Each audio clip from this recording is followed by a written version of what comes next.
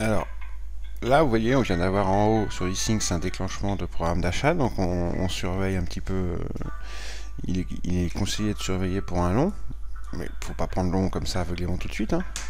Il est conseillé d'attendre. Alors là, vous voyez, on a un petit retour sur la zéro line, c'est bien. Regardez les ticks en bas. Ils se cantonnent au-dessus de leur zéro line. Ce serait parfait qu'ils reviennent aussi sur leur zéro line, cela. D'accord? E-Sync sur zéro line, tick sur zéro line, ça serait parfait en même temps. Un petit signal dans le footprint en même temps, ça serait bien aussi. On est en train de refaire des plus hauts. Euh, le volume spread est, positif, bullish, donc on cherche des longs. Le VIX fait des plus bas, des nouveaux plus bas, on cherche donc des longs. Et le, la dance decline, lui, euh, est positif. Nous sommes à 404 euh, advance. Alors, par contre, regardez ces étoiles violettes. Ça, c'est autre chose. Tout me dit de prendre un long, mais pour l'instant, je ne vais pas le faire. Car le Nasdaq, lui, ne fait pas de nouveau plus haut. On vient de faire un haut sur la session cash SP, mais pas sur le Nasdaq. Donc, je suis prudent et je vais attendre un signal clair pour rentrer long. Dans Bookmap, hein, bien évidemment. Alors, Bookmap, c'est pareil. Hein. Je reste quand même assez prudent face à toute cette absorption des achats, mais euh, ma foi, euh, je vais prendre un contrat. C'est quand même assez bullish, mais là, il y a quand même 1000 contrats. On va aller les taper d'ailleurs. On va aller les taper. On s'arrête juste en dessous. Donc là, on fait des plus hauts sur le SP, mais pas sur le Nasdaq. Attention. Alors on arrive sur les 1000 contrats. Donc on est en train d'acheter. Les acheteurs n'ont pas été tellement intéressés. Hein. Ça pas. On y retourne dessus. On a rechargé un petit peu. Vous voyez, là, je, je mets un ordre de short dessus et un, juste en dessous. Voilà, j'ai été pris pour un contrat. J'ai le deuxième. J'ai pas été servi du deuxième, mais bon. Vous voyez, les acheteurs sont pas tellement agressifs pour attaquer le niveau. Hein. Et je vais essayer de sortir à 3-4 euh, ticks si je peux. J'ai pas d'imbalance short dans mon footprint. Voilà, j'ai eu mon deuxième contrat. J'ai un prix de revient à 1913,80 c'est un prix de revient, donc euh, évidemment ça donne une valeur, euh, on va dire 75. Hein. Donc là, il y a énormément d'achats cette fois-ci. Ils sont assez agressifs quand même, je devrais faire attention. Je suis dans ma zone de vente, mais mais mais je devrais faire attention quand même. Puis j'ai deux contrats, ça peut aller vite. Hein.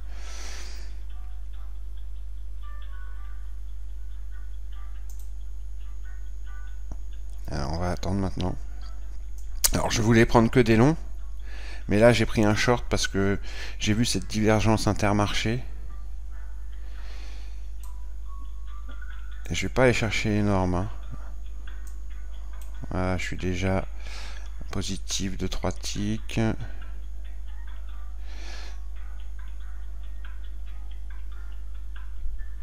J'ai une toute petite euh, imbalance short, mais alors minuscule hein, ici. Minuscule, hein, vraiment. Euh, Rien de... Rien d'extraordinaire.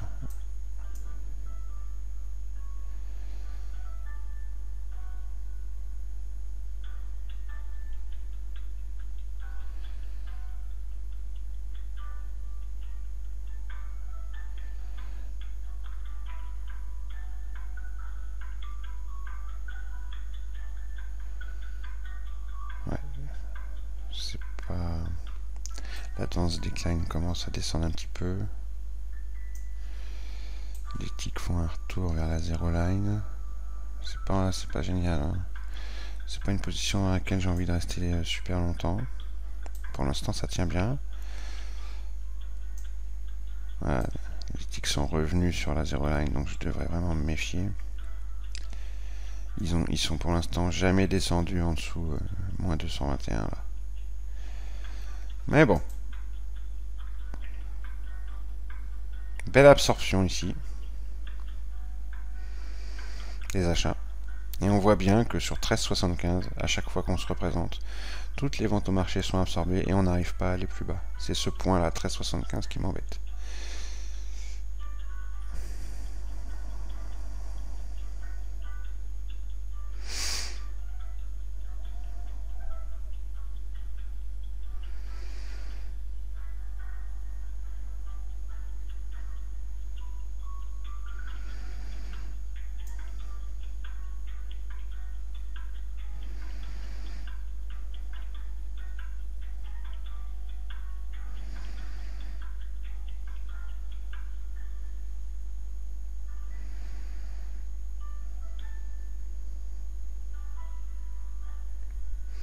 Ça va péter à la hausse, ça je le sens. J'aime pas quand ça dure trop longtemps comme ça. la Advance Decline il a calé, ça ça me rassure. Tout a calé, hein. le, le VIX aussi. Ah, le VIX qui commence à remonter. Donc, éventuellement mon indice va redescendre. Toujours euh, cette divergence entre le SP et le Nasdaq. Hein. le Nasdaq est souvent, euh, souvent directeur. Ouais, ça y est. Donc vous voyez, cette belle absorption fonctionne. Alors c'est ça là, 13.75, c'est là qu'il faut qu'on casse absolument, parce qu'il y a une grosse main sur 13.75, un bel iceberg, qui nous empêche de descendre plus bas. Et ça m'ennuie... Euh,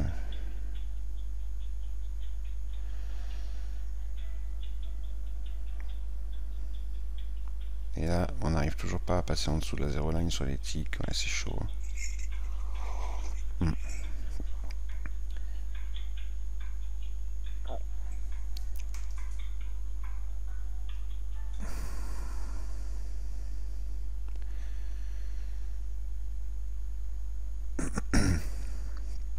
Bel iceberg hein, sur 1375. Euh, Je suis pas dans le bon sens. Hein.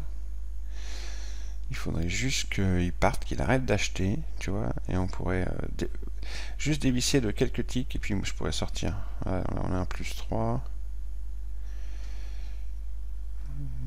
Voilà, ça c'est bien, continue.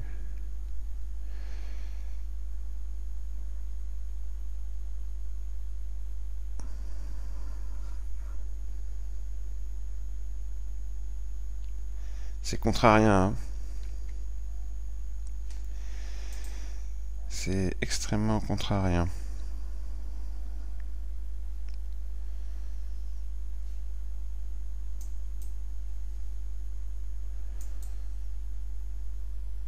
Je vais me prendre une tannée à force de rester en position. Hein.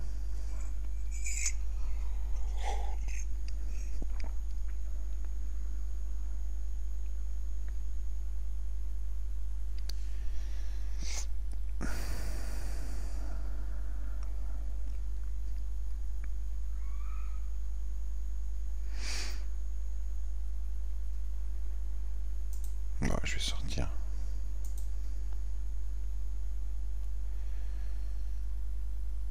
Voilà, un contrat de sortie.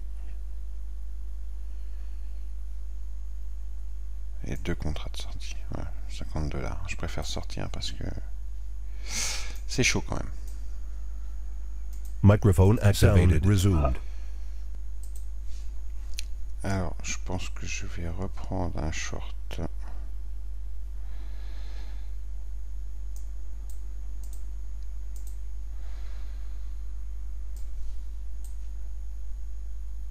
mettre un, contrat ici.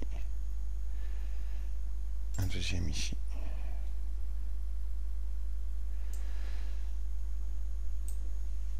Parce que là, il y, a toujours cette divergence intermarché entre le Nasdaq et le SP. On, vient de faire une, petite, euh, on est sur ma zone de vente, hein, une petite imbalance short. Et surtout, il y a, une divergence euh, prix delta euh, phénoménale. On la voit bien là. Et une divergence avec les tics. Jusqu'à présent, on faisait des plus hauts, de plus en plus hauts sur le SP, alors que les tics, eux, n'arrivent pas à dépasser leur, euh, bah, le haut de cette petite mèche. Là, on est concentré dans une boîte. Donc il y a une divergence entre les prix qui font vraiment des plus hauts et les tics qui, eux, ne n'impriment pas. Euh, on a eu une impression plus 800 ici, mais on reste quand on est en dessous dans une boîte comme ça. Donc là, je viens d'être exécuté sur mes deux contrats.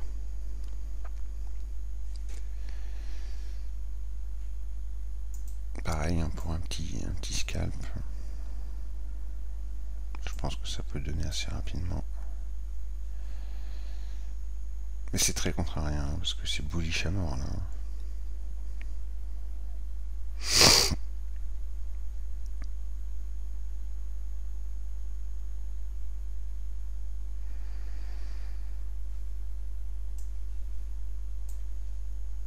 Je vais mettre ma sortie euh. Ah, j'en ai pris un troisième, je me suis trompé de bouton, c'est d'où l'intérêt, donc j'ai trois contrats maintenant, d'où l'intérêt d'être en sim hein, quand on teste une nouvelle version qu'on n'a pas l'habitude. Je mets ma sortie ici, mes trois contrats, 1, 2, 3. Trois contrats d'achat ici, sur 14,75.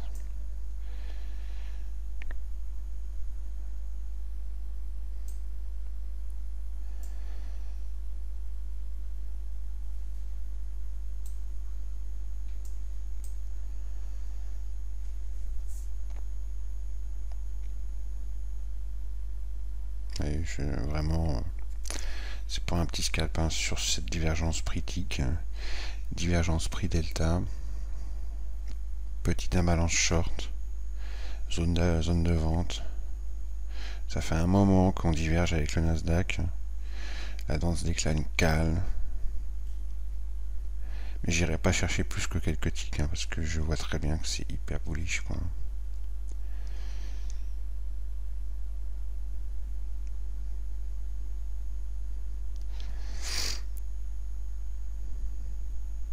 Allez, me chercher.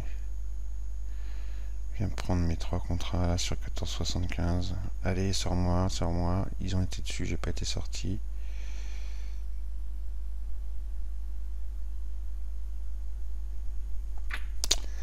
Je n'ai pas été sorti. Aïe aïe aïe.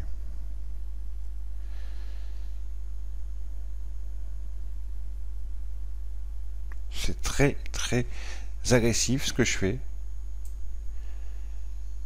J'en suis conscient. Je préférerais dans un. Je préféré être mais là, je, quand je vois un petit scalp à faire, je le fais quand même. Vous voyez, on, m'empêche de retourner sur ma limite. Allez, vas-y. Il y a 600 contrats sur 1915 là. Allez, vas-y, vas-y. Ah voilà, allez. Voilà, voilà. Allez, sors-moi, sors-moi, sors-moi, sors-moi ça. Allez, j'ai été sorti. Voilà. Impec. Donc là, j'ai fait 100 dollars. Juste pour vous montrer les, en début de session comme ça, quand il, quand il y a des divergences euh, entre deux marchés, dont l'un est directeur et pas l'autre, quand il y a des divergences entre euh, les prix et l'éthique, quand il y a aussi il y a aussi parfois des divergences entre l'éthique et l'e-syncs. Hein. Euh, on a aussi, euh, on voit des divergences parfois avec, euh, tous les markets internals, d'ailleurs le VIX, euh, la danse décline. Bon là c'était surtout la divergence prix-TIC qui m'a intéressé. Et le fait qu'on soit aussi en divergence avec le Nasdaq qui fait des nouveaux plus hauts, qui ne fait pas de nouveaux plus hauts, pardon, alors que le SP en fait. Et le Nasdaq est directeur en général, et aujourd'hui